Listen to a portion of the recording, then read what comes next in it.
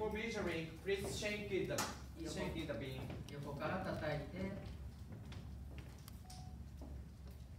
専用の計量スプーンで計量します1杯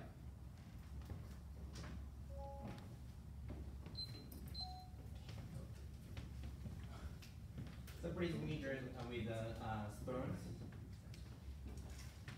そして液は2センチぐらい離したところからボトルの腹を押して1滴です Okay, and after that, please uh, put on the liquid with one drop with from when when we and uh, put on the uh, uh, put on the liquid.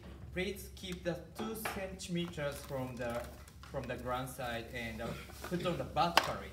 It's important for measuring right liquid. では、えー、2回に分けて入れていく のです、えー、半分に分けて早いです。は いちょっと待ってください。あ、連和紙。連和紙がない。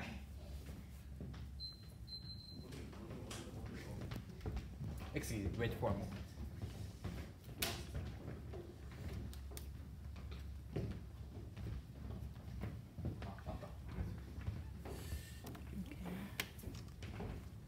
Okay. We are okay, so please measure the powders and the Yeah, here, one spoon and one liquid. まず練り方を、ね、見てから、えー、私がデモしてから練ってください Okay, so please see the uh, monitors and uh, uh, please run how to mixing up correctly. ではいきますね、えっと、半分に分けておいて少し液も、えー、ななじませておきます Okay, first of all, so please separate uh, powders uh, divided to for two, and uh, after that, please flood the liquid and uh, make a, uh, a little bit wet with uh, uh, spatula. はい、まずは優しくなじませてから、えー、全部なじませ終わってから、えー、し力を込めて練ります So after, uh, before uh, mixing up so hardly, before uh, so please uh, mixing up so softly.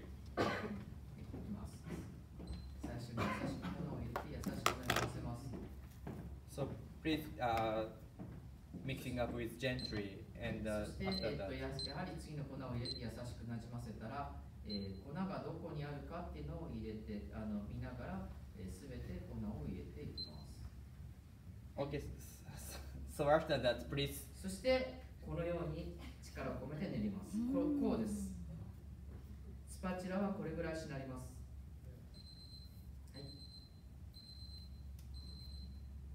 すごくよく練ってるんですけどこれぐらいの、え柔らかさにはなります。はいでは、えー、と皆さん練っていただいて